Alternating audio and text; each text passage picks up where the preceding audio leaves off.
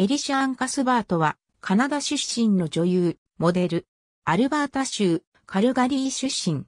モントリオールで育ち、7歳の時からモデルとして活躍。1997年から2000年まで、子供向けの教育的テレビシリーズ、ポピュラーメカニクス4キッズに出演したことでも知られている。この時、彼女のレポートに感銘を受けたヒラリー・クリントンが彼女をホワイトハウスに招いたこともあった。17歳の時、俳優になるためにカリフォルニア州ロサンゼルスに移る。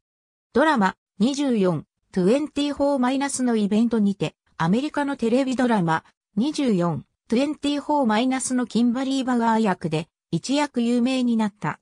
当初は第1シーズンだけの登場予定だったという。2004年の映画ガールネクストドアではエミール・ハーシュとの濡れ場も披露した。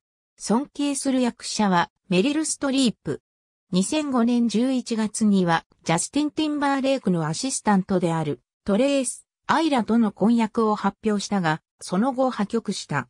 2013年、婚約者のカナダ人、アイスホッケー選手デオン・ファヌフと7月6日、プリンス・エドワード島で結婚式を挙げた。ツイッター、園崎美恵のツイート2014年4月26日23時54分、投稿。2014年5月18日閲覧。ツタヤオンライン、レンタルはツタヤだけ。キャプティビティツタヤオリジナルバージョン。2008年8月18日閲覧。ありがとうございます。